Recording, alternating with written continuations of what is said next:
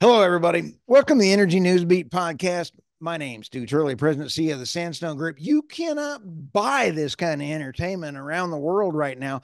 We had a presidential debate, the presidential debate last night. We are filming this on Friday morning. And I'll tell you what, I've got a guest that is not only he is a, a, very knowledgeable Substack author, and I reached out to him before last night. And then we are discussing his Substack articles today. Welcome, Dr. Vance Ginn. How are you today? Hey, I'm doing well, Stu. It's a pleasure to be with you. I'll tell you what, we live in a energy political, I don't know if it's a nightmare. What's going on around the world right now? Holy smokes. It's all over the place, you know, and that was that was a heck of a, a, a debate last night. It was tough to watch whenever you're seeing what's going on and what they're saying and mumbling and everything else. I'll tell you what, Vance, it just absolutely makes me drives me nuts I think the success of our podcast, our individual podcast, you have an individual podcast as well too, Vance, That's right? right? Let and people prosper is the name of the podcast. Let people eh, prosper. Let people prosper, and it is let the people prosper. Vance Ginn, substack.com. I want to give you that shout out first. It's a great substack. People need to subscribe to you. Vance Ginn, substack.com. We'll have that in the show notes. But I'll tell you what, I think people are tired of the mainstream media because when you see I have to hand it to CNN. I think they did a good job, but was this a setup to get Biden out? It seems like it could be that way. I mean, the way that he did so poorly during that right. entire debate would indicate to me that they're going to be questioning things. And then as soon as the debate was over, CNN, of all places, CNN, their whole group was basically roasting President Biden. And oh, the Twitter feed, the X feeds were nuts last yes. night. It really was. I wasn't expecting that, especially from CNN. So it was almost like they were teeing up him to leave and step down from running for a reelection and having someone else step in. But this morning, as of 11:08, when we're filming this, uh, advance the Biden White House said we're still in it. Yeah. wow. Yeah. Um, it's going to be a wild few months. I mean, we're getting closer. It's already, like you said, the end of June. So we only have a few months left. There's not much they can change between now and then. It's really going to be about well, we just like uh, if some people are going to say, well, we just like the direction that the the economy or the country is going. Although that's becoming few and far between. 52% of Americans believe we're in a recession. Um, right. Now, the, the, the, the high level numbers don't indicate that when you look at GDP and everything else, but that's how people feel given the inflation and everything else that's around them. And, and your stuff is just fantastic. If everybody take a look at this state jobs level report from BLS overview, Texas, we added 41,800 jobs in May at 3.9% unemployment. Go Texas. Love me some Texas. That's right. California, May is 5.2 unemployment of known known employables, I guess. Never yeah. mind. Sorry, that was a bad joke. Uh, interest rates. And when we talk about red state policies work, I love the way you phrase that. Well, it's right. I mean, when you look at just those numbers alone, and yes, California added more jobs in the month of May than Texas did, but we also got to remember that California is larger. They've got a larger labor force, larger population, right. and things of that nature. Their percent change was 0.3% growth in Texas, but compared to a 0.2% in California. And if you look right. over the last year, Texas is, is, is growing almost twice as fast as the state of California. And so when and this is across the board when you look at states like Texas, Florida, Tennessee, even some in Oklahoma, the, the larger red states compared to California, New York, and Illinois, you can see this dichotomy where red state policy, the pro growth policies of less government right. spending, lower regulation, and lower taxes, that really trumps the things that you can do with higher taxes and higher regulations and higher spending. I want to ask this opinion. I, this just came out across the wire, and I, this is totally unscripted, Vance. So you're going to get this is a little bit of a test. All right. The, the International Monetary Fund, which is a worldwide uh, elite global money grabbing thing, just issued a warning to the U.S. for our printing money and our bad energy policies. I never thought I would see the day that the international monetary policy would tell the United States we have bad policies. Same here. Same here. Wow. I, that's that's unbelievable. I'm gonna have to go check that out when we get off because that is that is totally incredible that IMF would say something like that. And it's but it's true. I mean, we, we've had excessive government spending lead to massive right. deficits and debt we're paying more on net interest payments of, of more of a trillion dollars than we do on national defense of 860, right. 870 billion dollars. And you include the Federal Reserve in there of the money printing that they've done over the last few years. Yes, the balance sheet's coming down now, but their balance sheet's still at 7.2 trillion compared to right. the 4 trillion before the pandemic. There's still a lot of money that's sloshing around the economy. And then we wonder why inflation still remains hotter than the 2% that they would like for it to be. Oh, and when you look at the charts, energy cost for the consumers is up 35% from when Trump took in. 35% energy takes, I mean, it affects everything. Yeah, it does. It really does. And so that's going to trickle down, if you will, through all of our other prices that we pay because it is a direct portion of that, uh, one of the raw materials that's in almost everything that we that we use everything from your barista yeah. to your burrito. I mean, yeah. it, it is just, hey, that could be a t shirt. yeah. I'll tell you what, when we sit back and take a look at this, you also brought up school choice. What were your thoughts on that one? Well, you know, there, there wasn't a whole lot of discussion. I hope that there would have been during the debate. But so far, we've heard from Trump that he's in favor of school choice. Biden's not been in favor Boy, of school choice. He did not answer that. He spent time on the other one, didn't he? He, he did, though. Yeah. He and as well he should. But what are your thoughts here? Yeah, I really, I really hopeful that states. I mean, ultimately, that's where the, that school choice should happen is at the state level, right. not at the federal level. I don't want the federal government to be more involved with education. If anything, I think we should need to end the Department of Education. And so, the the state of Texas and others, I think, need to get on board. There have been 12 states that already have passed universal school choice. Texas should be the next one, and I think it will happen next year after the elections that happened with the with the primary elections and the Republican Party and the runoffs that happened this year what I'm this is a self-serving note here for just a moment, and that is I'm trying to put together a a program for homeschoolers so that take all of my podcast and the like the all the podcasts we produce for homeschool energy material. And I have all years of training material lined up for this, and we're putting it together because we need journeymen. We need folks to go into the trades. We need alternatives for education because schools are getting horrible out there. Well, that's exactly right. And I mean, I think that's one of the things with universal education savings accounts is that you empower hmm. parents mm. to do what's going to be best for their their kids. And every kid is unique and whether it be the careers they want to go on to into later on or what they want to study. And so I think that's a great opportunity though, is for the homeschoolers. You know, Stu, from kindergarten to second grade, I went to a small private school uh, that right. my mom worked at because we didn't have a lot of money. That's the only reason I got to go. And then from third right. grade to sixth grade, I went to a public school, and this is all in Houston, South Houston, Texas, where I grew up. And then from seventh grade through 12th grade, I went to homeschool. So I got all those different attributes and, and being able to learn from those to to really understand why it's so important to have school choice and unfortunately too many people especially those with lower income and lower means don't have the opportunity to do so and i hope right. that they oh, all yeah. get that opportunity soon well, and that's why I want to do the homeschool thing to help out because there are people that are trapped in cities that can't move to somewhere else. That's I mean, if you're in right. a blue city and or a blue state, you're trapped like a rat. You need to help educate your kids. Hey, let, us yeah. do some fact check because I was sitting here and I, I was looking at this. Okay, if Trump gets rid of the tax, the IRS, and he gets rid of the education system, you know, and brings it back to the states, but yet he's going to put, you know, we, we talk about putting in tariffs on everybody else to replace the taxes. What are your thoughts on that? Because uh, Biden was dreaming that he, I mean, I, I mean, excuse me, he was responding and saying that it was going to be another exorbitant inflation. What are your thoughts? Well, you know, I, have been writing about this, and I worked in the Trump administration from June 2019 to May of 2020 of the as a chief economist for the Office of Management and Budget. And so, in in, in and I think that the Tax Cuts and Jobs Act were a good thing. But the problem is, is, is our tariffs, right? Like I think tariffs are a tax on Americans, on imported goods. And so right. while it may seem like a good idea to put in tariffs to replace income taxes, which I, I wish we didn't have income taxes either, it would, it would be a substantial increase in tariffs. I mean, just the amount of tariffs that are brought in on, on goods right. that are imported are not that large compared to the amount of income taxes that are being brought in. And we're already running, you know, a trillion and a half to $2 trillion deficits. You would need substantial increases in tariffs to bring down that gap. And so ultimately, I don't think this is a good idea. I'd rather, I'd rather Trump focus on cutting government spending and reducing income taxes Brilliant. versus imposing a larger tariff.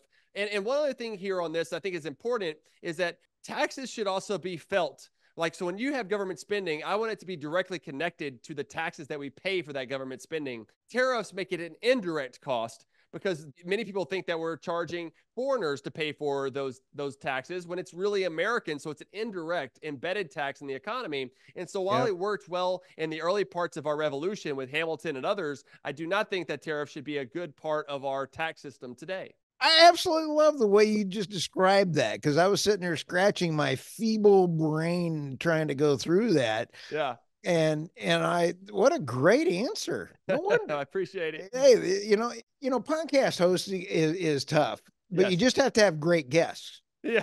right? That's So- right. That's right. Uh, When we talk about the grid and we talk about some real problems that may be coming around the corner for the grid, and when we talk about the grid, physics and fiscal responsibility matter to low cost energy. Yeah. And I loved your number four section in here with the Texas energy. Yeah.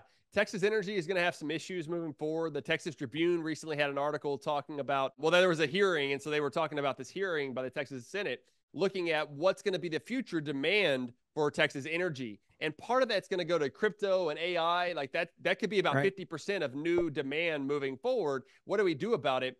Instead Right. of being so concerned about subsidizing things, which the you know the legislature passed this Texas Energy Fund last year to basically give low interest loans to start up natural gas projects because Right. of all the push of federal production tax credits and things of that nature and the uh, green energy deal. I mean, the Inflation Reduction Act that was the passed por- by the Congress. porkulus bill, as Dan Bongino would call Yeah, it. yeah, yeah. Yeah. There you go. You know, you have all this that they're trying to counter, and I think Right. we need more abundance within our energy sector by level of the playing field, remove the, Right. the the subsidies and tax breaks and everything else, have a level playing field, and ultimately, Stu, I think we need to head more towards towards nuclear energy. I think that is really going to be like- a big part of the future, along with natural gas. I'm a big fan of nuclear. I find I signed the oil and gas executives for in support of nuclear with Douglas Sandridge's organization. Love nuclear. And I'm afraid that what we're about on the verge of is a discrepancy between microgrids. You have data centers that are coming in. Mhm. They're going to be able to afford to put in backup and redundancy for those grids because the balancing authorities are shooting themselves in the head. I would not want to be a balancing authority. That's like going to be an air traffic controller in a war zone, trying to keep the grid. You know, when you have renewable wind and then you have this, and you're trying to keep a balanced grid. Yeah. it, it's a it's a nightmare. nightmare. Yeah, that's that's right. And so we're going to have a lot of issues from from one time to the next uh, to dealing with Texas energy. And with so many people moving here, Stu, from California and a lot of these other blue states, we're going to have a huge increase in population. And so we're going to see more and more demands for our energy over time. So we've got to think about it from an abundant standpoint. How do we get more Exactly. energy out I like there the compared to less? Yeah, I like the way you think, but let's let's have a Texas shirt made. Maybe we can have this as the Yeah. Dr. Ginn way to look at things, and that is leave your voting policies behind. Yes. Yes. You know, we cannot have the grid run by this. And then the federal debt chart. I, I'm gonna just absolutely I get airsick when I see this. Oh man, it's terrible. And and so yeah, another piece that I talked about was the Congressional Budget Office, which is considered to be nonpartisan. We could question that, but considered to be nonpartisan. They're expecting for us to have another 20 trillion dollars and added to the dollars added to the national debt over the next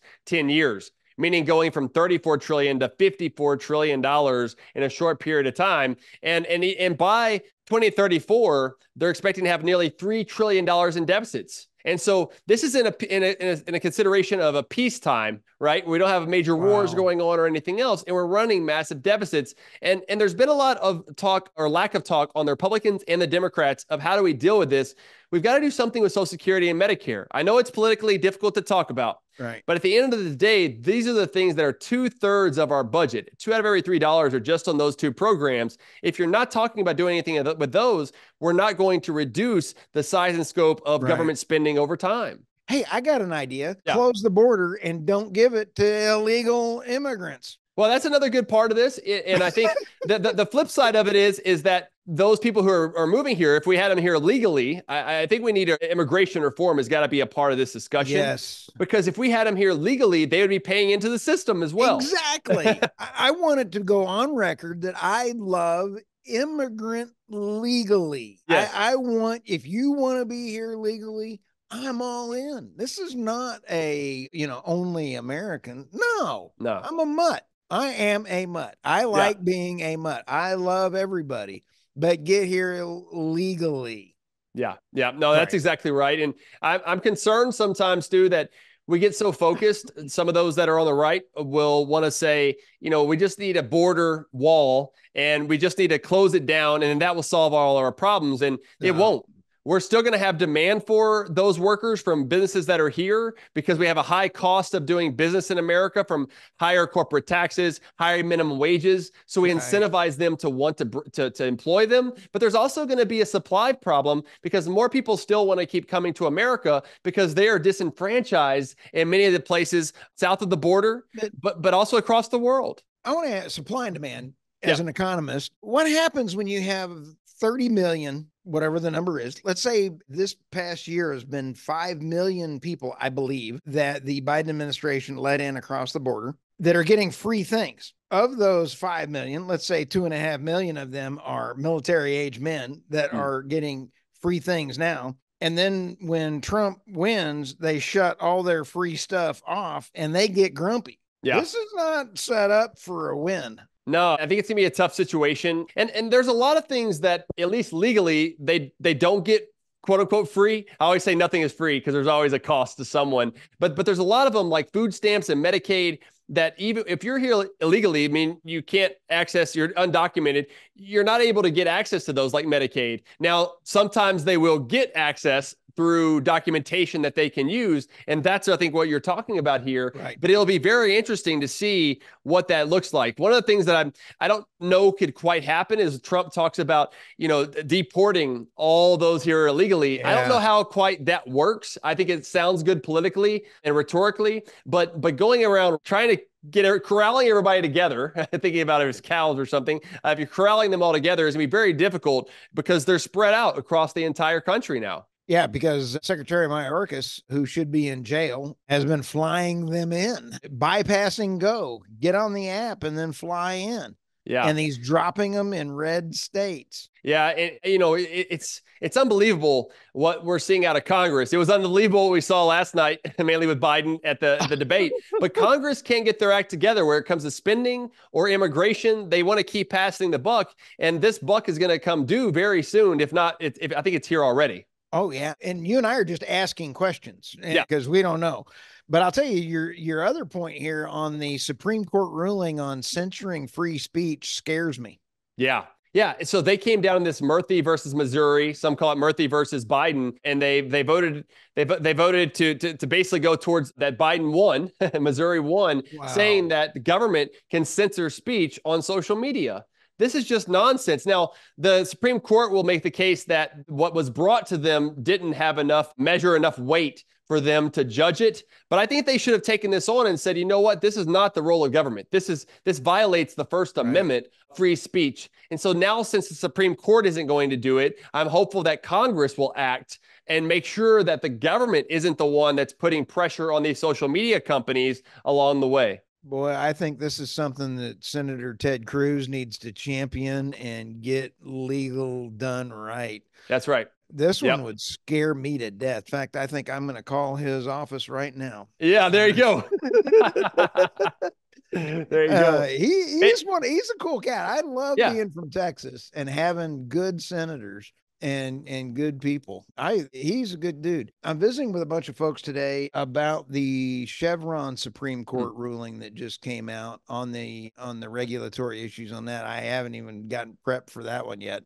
That should be pretty interesting. Yeah. Well, I think that's huge, Stu. I mean, this is so Chevron deference is basically has given the uh, legal authority for agencies in the federal government to do to, to basically interpret what the legislation that's passed. And so they right. do a lot more of that interpreting compared to what Congress should be doing. Congress has passed the buck on this because of Chevron deference over time. It gave them incentive to do so. And so now with overturning Chevron with this case, I think is going to be very important not only for Congress to come in and actually, you know, write out the law job. that they, they want do their job. There you go. But it will take it away from these unelected bureaucrats in DC. I mean, they're running the show and unfortunately running our lives in the process. You know, I want to ask a question because when we did not run a debt, and the only way in years past, before yeah. the Fed, before was it 1912, 1913? 13, 1913.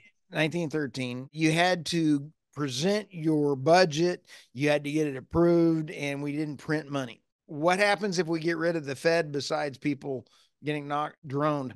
As they as as they say. But yeah. I mean, if we got rid of the Fed and we went back to that only, would we ever get out of debt? It would help because right now what the Fed does is they monetize the debt, which which is why we have so much inflation across the economy. And before 1913, I mean, we did run some deficits. There were there were deficits that were going on, but remember that our dollar was backed by gold and not by fiat currency and, and, and government debt like it is today. So today there is a incentive for Congress to run deficits and for the Fed to print money and right. continue to run deficits into the into oblivion versus back then there was actually something that was more grounded in sound economic policy before the Federal Reserve was put in place.